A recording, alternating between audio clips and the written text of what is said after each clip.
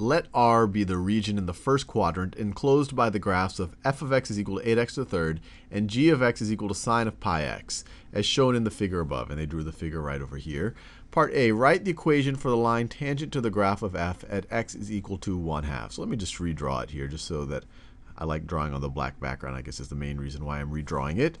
So the function f of x is 8 is equal to 8x to the third. Looks like this. It looks like that. This is our f of x axis, and this is our x axis. And we want the equation for the line tangent at x is equal to 1 half. So this is x is equal to 1 half. If you go up here, if you evaluate f of 1 half, you get f, you get 8 times 1 half to the third, which is 8 times 1 eighth, which is 1. And they actually gave us that already on this point. This is the point 1 half comma 1. And we need to find the equation for the tangent line. So the tangent line will look something like that. And to figure out its equation, we just literally figure out its slope, and then we know a point that it's on, and we could either we could you could use point slope, or you could just use your kind of standard slope intercept form to give an equation for that line. So the first part, let's figure out its slope. And the slope of the tangent line is going to be the same slope as the slope of our function at that point. Or another way to think about it, it is going to be f prime f prime of 1 half, or the, the derivative evaluated at 1 half. The derivative gives us the slope of that line at any point.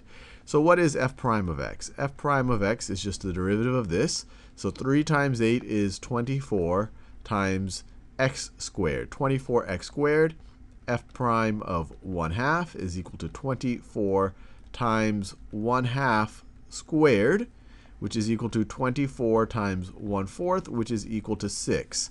So the slope of this line is equal to 6. I'll use m for slope. That's what we the convention that we use in out when we first learned it in algebra.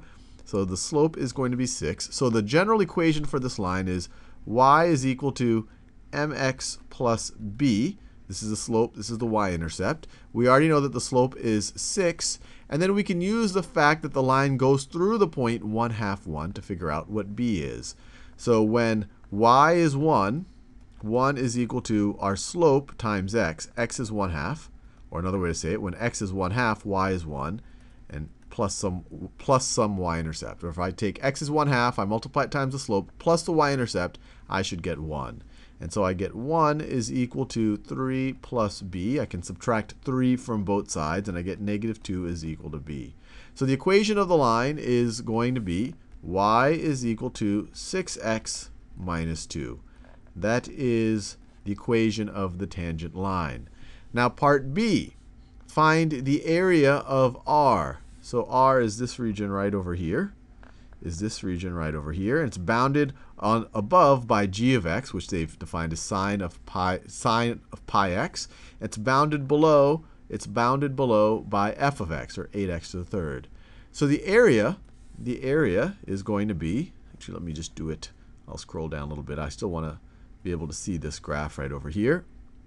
Part B, part B, the area of R is going to be equal to the integral from 0, from 0, that's this point of intersection right over here, to 1 half. So let me make it clear. This is 0 to 1 half, 0 to 1 half.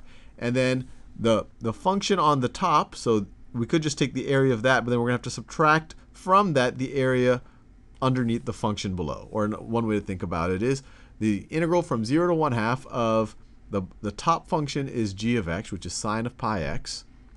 So sine of pi x, sine of pi x.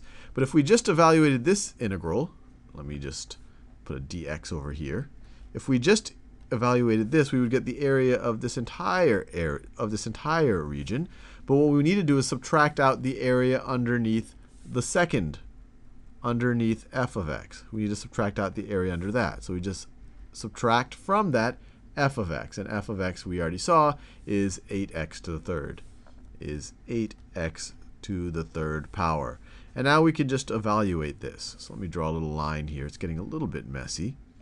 It's getting a little bit messy. I'll just do it down here. So we need to take the antiderivative of sine of pi x.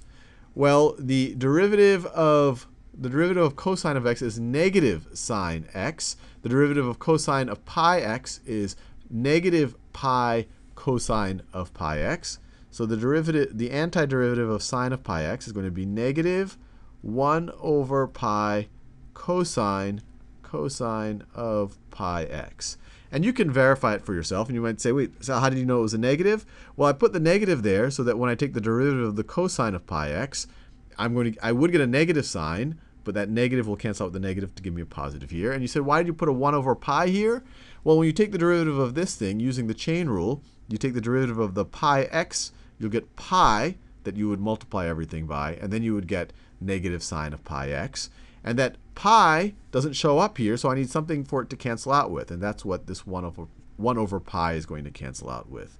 And you could do u substitution and all the rest if, if, if you found that if you found something like that useful. But it's it's it's in general a good a good habit, or I guess it's a good uh, it's a, it's it's good to be able to do this almost almost by sight. So, and you can verify that this derivative is equal to sine of pi x. So the antiderivative of sine of pi x is this. The antiderivative of negative 8x to the third power is negative 8. I'm going to divide it by 4, so negative 2x to the fourth power. And I just, all I did is I incremented the 3 to a 4, and then I divided the 8 by the 4. And you could take the derivative of this to verify that it is the same thing as negative 8x to the third power. And we're going to have to evaluate that from 0 to 1 half.